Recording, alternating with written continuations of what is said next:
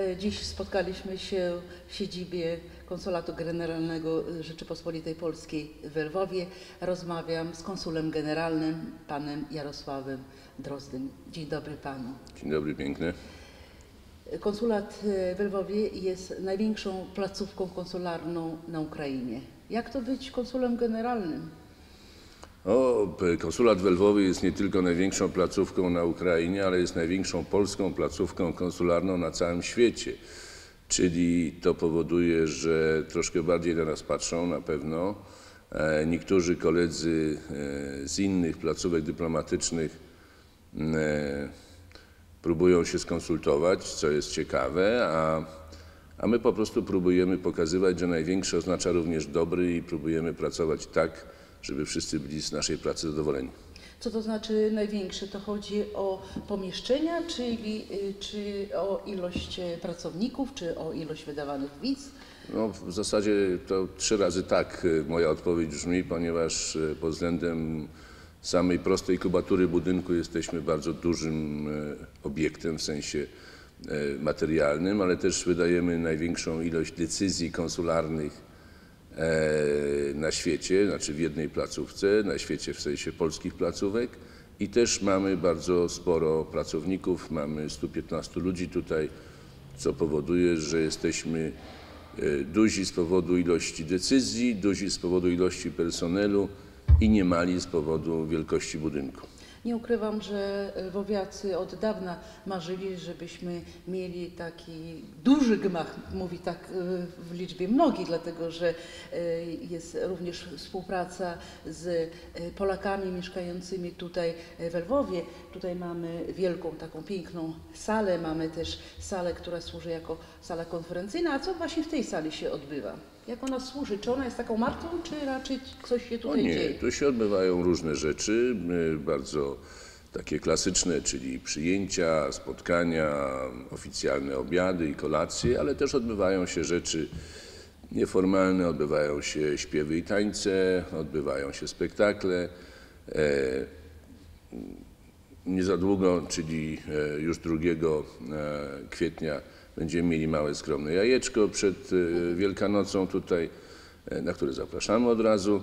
E, I też muszę powiedzieć, jest pewne utrudnienie teraz z imprezami takimi z udziałem zewnętrznych gości, bo jednak w Ukrainie jest troszkę specyficzna sytuacja i lekko, powiedziałbym, musimy kontrolować ruch osób, które tutaj nas odwiedzają, co powoduje, że swobodny dostęp na spektakle i tak dalej jest utrudniony w tej chwili.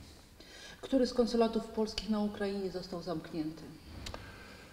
No w tej chwili już dwa, bo y, y, konsulat polski e, w Sewastopolu, no, aneksja Krymu i nie mogliśmy przez obecność naszego konsulatu e, jakby dawać e, powodu do tego, żeby strona rosyjska twierdziła, że akceptujemy tą inwazję praktycznie.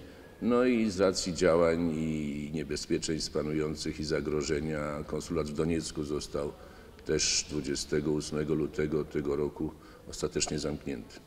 E, Jak z punktu widzenia Pana pracy tutaj, e, a pracuje Pan w Lwowie 3,5 roku, wygląda współpraca ze stroną ukraińską? To jest y, mało czasu, generalnie 3,5 roku, ale też y, szmat doświadczenia olbrzymi, ponieważ ja w tym czasie przeżyłem tutaj w samym Lwowie siedmiu gubernatorów, czyli mm, szefów y, władzy państwowej, tutaj przedstawicieli władzy państwowej. Nie powiem o tym, ilu się zmieniło szefów innych urzędów i struktur. E, tudzież dynamiczny rozwój polityczny w Ukrainie spowodował, że to nie jest łatwa współpraca. Nie jest łatwo pracować z partnerem, który e, jest na swojej posadzie, na swoim urzędzie parę miesięcy, który już wie, że długo nie wytrzyma, który w decyzjach swoich też jest tym uwarunkowany, że on wie, że to będzie niedługi okres czasu. I mamy od paru miesięcy nowego gubernatora, byłego zastępcę mera miasta, czyli tym nowym gubernatorem jest pan Olek Seniutka i mam nadzieję, że jego doświadczenie z poziomu miasta przyniesie dobre rezultaty na poziomie obwodu i że wytrzyma chociaż parę lat, żeby dla realizacji zadań i kontynuacji niektórych projektów, to jest niezbędne. Bez tego nie będzie dobrego wyniku. E, Panie konsulu, e, oczywiście ja mogę e, dużo pytań Panu zadawać, również o priorytetach konsulatu, ale na pewno to pytanie, które bardzo interesuje Polaków tutaj w Lwowie, jak wygląda na dzień dzisiejszy sprawa Domu Polskiego? To jest największy projekt chyba, który tu realizujemy i mamy już od dwóch lat procedury, które się z tym wiążą. Mamy w tej chwili w zasadzie e, problem jakby rozwiązany prawie, że prawnie. To znaczy się mamy przyznany budynek już, na który została podpisana dzierżawa w 2013 roku w listopadzie. W tej chwili kończy się procedura formalno-prawna przekazania działki otaczającej ten budynek, to jest 4000 metrów, bo dopiero ta działka pozwoli nam dokonać właściwej przebudowy i e, realizować no, duży budynek, bo tam jest e, przewidziane parę tysięcy metrów kwadratowych powierzchni, duża sala widowiskowa na przynajmniej 500 osób, pracownie dla młodzieży, biblioteka, możliwości spotkań, nauki języka. To będzie takie duże, duże centrum, powiedziałbym, społeczno-kulturalne. My w takiej długiej nazwie chcieliśmy ująć wszystkie aspekty tego domu działania jego, czyli nazwa będzie Centrum Kultury Polskiej i Dialogu Europejskiego, myślnik Dom Polski w Lwowie.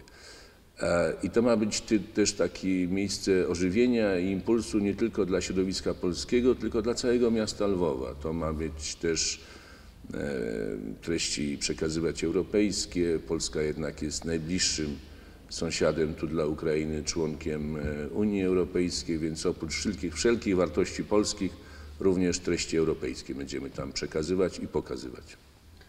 E, Niestety obywatele Ukrainy powinni e, uzyskać e, wizę dla przekroczenia granicy z Polską i dalej do Unii Europejskiej. Mówię o tym niestety dlatego, że z tym związane są oczywiście pewne procedury, które czy są i w przyszłości będą lżejsze, czy utrudnione. Znaczy, formalnie obowiązuje reżim wizowy, który e, wymaga określonych spełnienia procedur, wniosku o wizę, zdjęć, wykazania dochodów, e, potencjalnych e, miejsc przebywania itd. itd. E, Co do tego, czy to się zmieni, to nie jest mój poziom decyzji i odpowiedzi. Ja tylko mogę powiedzieć, że rozmowy Ukrainy z Unią Europejską się toczą.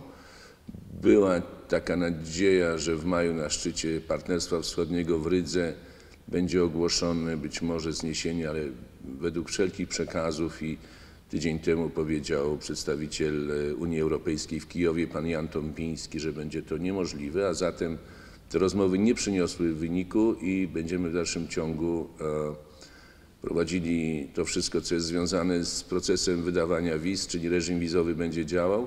Mogę tylko powiedzieć, że taką jakąś próbą e, ulżenia czy złagodzenia sytuacji była podniesiona na konsultacjach konsularnych polsko-ukraińskich w grudniu zeszłego roku koncepcja rozszerzenia strefy małego ruchu granicznego do 100 kilometrów.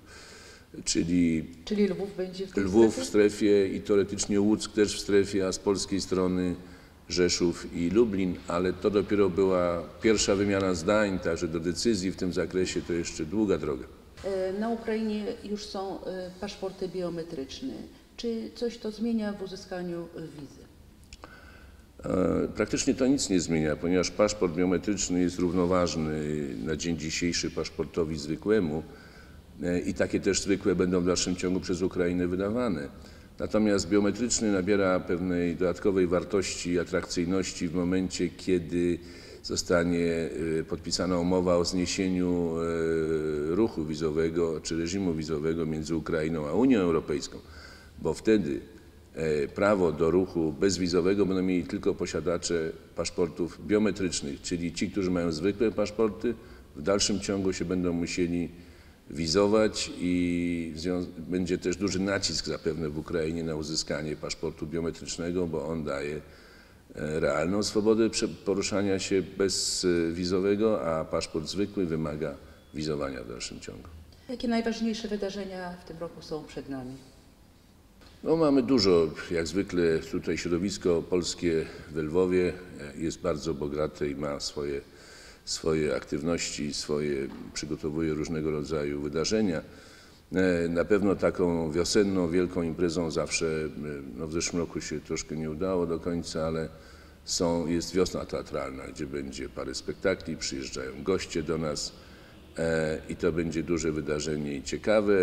Oczywiście za chwilę będziemy świętowali na Majówce Lwowskiej. e, W, w tym roku 1 maja jest taka umowa, bo jakby w Wigilię święta e, e, Polaków i Polonii, znaczy Polaków za granicą i Polonii.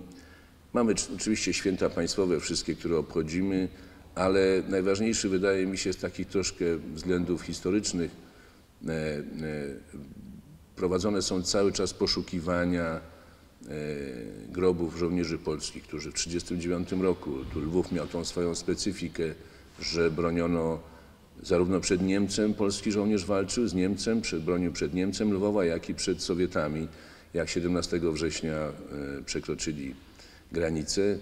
I tutaj prowadzone są intensywne prace nad e, odnalezieniem e, szczątków żołnierzy polskich. Mamy taką cichą nadzieję, że w tym roku uda się e, założyć kamień węgielny pod grób żołnierza polskiego 1939 roku. Duże i takie ważne wydarzenie z uwagi na to, że no i rocznica zakończenia wojny i, i, i należna tym żołnierzom pamięć, którzy często w czasie działań wojennych byli chowani w tych miejscach przypadkowo, gdzie padli, gdzie ktoś tą samarytańską e, posługę uczynił, a trzeba o nich pamiętać, szczególnie we Lwowie. Jak pan odbierał Lwów przed e, podjęciem pracy tutaj i jak teraz? O, no znam lepiej miasto, to na pewno, więc jest mi w nim łatwiej się poruszać, znam więcej ludzi, jest mi po prostu szybciej i sprawniej różne sprawy załatwiać i osiągać pewien stan wiedzy zapewne. E, Troszkę jest mi coraz bardziej Lwowa żal, że za mało jest prac e, takich konserwatorskich, remontowych, że tu gdzieś wczoraj szedłem po ulicy Akademickiej, czyli obecnie prospekcie Szewczenki, dosłownie przede mną spory kawałek muru z bardzo pięknej kamienicy runął na ziemię, bo to są straty, które, które są dotkliwe, a mm, ich później przywrócenie stanu i chwały tych budynków będzie kosztowało jeszcze drożej. Dziękuję serdecznie za rozmowę. Dziękuję pięknie i pozdrawiam wszystkich e, telewidzów.